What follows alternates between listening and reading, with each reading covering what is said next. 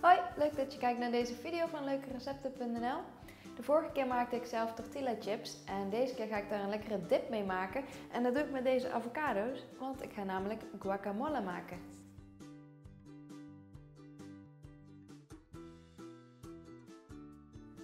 We gaan beginnen met het schillen en het eh, snijden van de avocado. Het is altijd een verrassing hoe die er van binnen uitziet. Ik gebruik het liefst wel uh, rijpe avocado's die niet al te hard zijn. Nou, deze is perfect.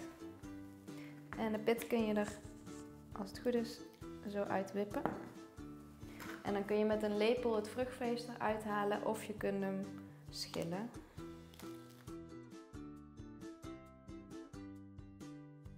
De tweede avocado was helaas iets minder goed, dus ik heb daar de donkere plekjes uitgesneden en die heb ik alvast geprakt.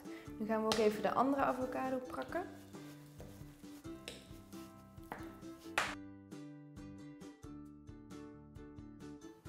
Nu doen we de gepakte avocado in een kom.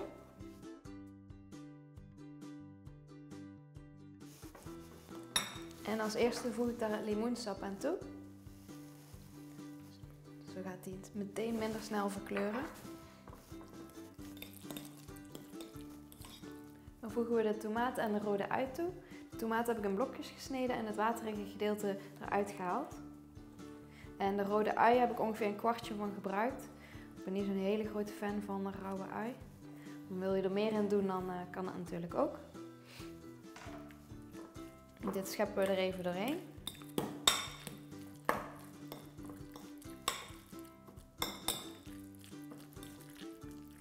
En dan brengen we hem nog op smaak met een beetje chili, ook naar smaak. En wat zout.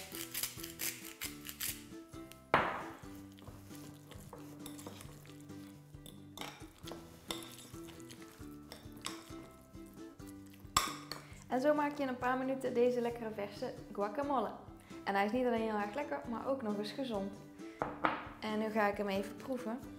En dat doe ik met een eh, zelfgemaakte tortilla chips uit de vorige video. Kun je hier terugvinden.